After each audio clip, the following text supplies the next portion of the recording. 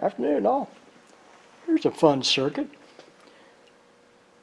Right here is a phototransistor and underneath is a pull-up resistor. Here's two test points, ground and the collector of the phototransistor. It's all powered by a 9 volt battery and we're going to look at the IR output of this remote control. The test points are connected to the Fluke oscilloscope.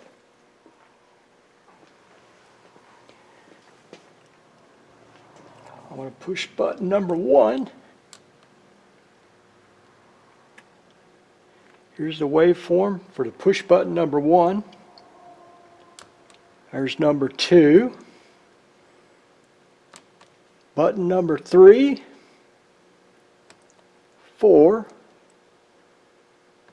five, and you can see the transmitted data is changing.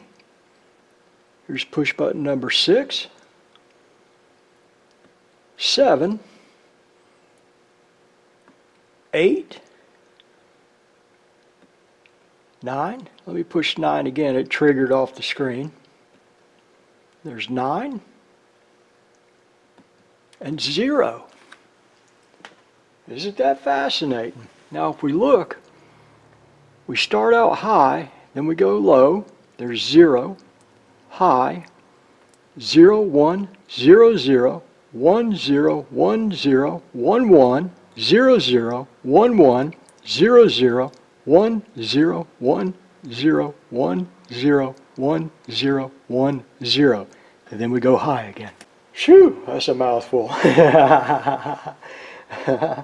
Isn't that amazing? I'll put the circuit up at the end of the video and you can construct yours. And then you can look at all kinds of infrared transmitted data.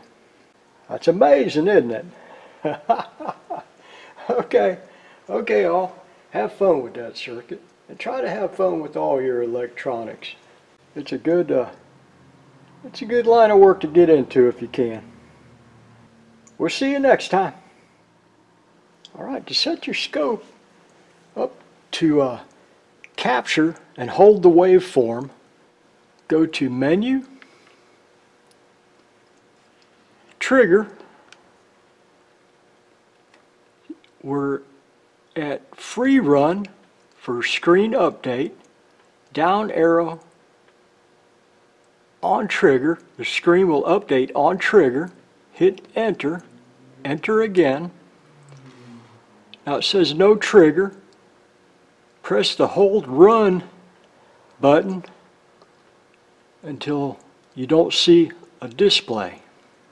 Now when you push a button, that data is captured on the screen. I've got channel A set to 5 volts per division and 5 milliseconds per division to display this data right here. Now for your remote control, you might have to set that amplitude and uh, time per division to a different setting. But it works good here with what we've got. Alright, now for the fun part. The datasheet for the NTE 3031, this phototransistor, states that current collector, that's the current from this point right here to ground through the collector base emitter junctions cannot exceed 40 milliamps we cannot exceed 40 milliamps in this circuit right here. And I chose this resistor based upon that. And I'll show you how to calculate that real quick. We have a 9 volt DC battery. And I have placed a 470 ohm load resistor right here in the collector of this circuit right here. So between the 9 volt DC battery and the collector of that phototransistor, I have a 470 ohm resistor. To get a little bit sidetracked from what we're talking about right here, the Fluke oscilloscope was looking at this point right here, reference to that 9 volt DC battery ground.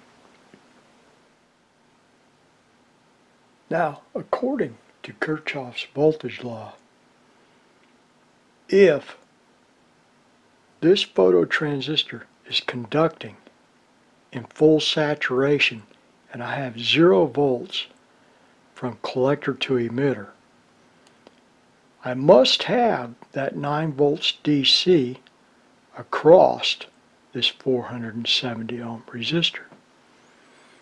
And we can determine the current through this circuit right here with Ohm's law. Voltage divided by resistance equals current. So let's pull up our calculator. We're going to go 9 volts, that's our 9 volt DC battery, divided by 470 ohms equals 19.15 milliamps. We have 19.5 milliamps flowing through this circuit. And that is well below the current, the max current rating for this device right here of 40 milliamps. We're safe. We're not going to burn up that device. So how does this work? Well, if the phototransistor is turned off, there's no photons driving into the base of this phototransistor. It is turned off. And this point right here is pulled up to 9 volts DC through that 470 ohm resistor. We'll have a high voltage out here. When that transistor is turned on by photons driving into the base, those are the infrared emissions into the base of that phototransistor, it is conducting. And this point right here goes low. So we have a high up here and we have a low down here. And that's how the ones and zeros are viewed on the Fluke oscilloscope. Isn't that amazing? That is amazing. That is absolutely amazing. We can view the invisible with this tiny little circuit right here. All right, oh, isn't that, isn't that fascinating? I really love working on this simple stuff. now, why did I build that circuit? Well, every now and then in the shop, let me put this up here so y'all can see it. Every now and then in the shop, I'll get measuring wheels from uh, leatherworking plants. And the measuring wheels will look They'll have IR transmitted into them, and they will look at the area of cowhide and calculate how much cowhide in area that they can use without waste. It's uh, it's pretty neat how that works out. So I built this circuit to test those measuring wheels.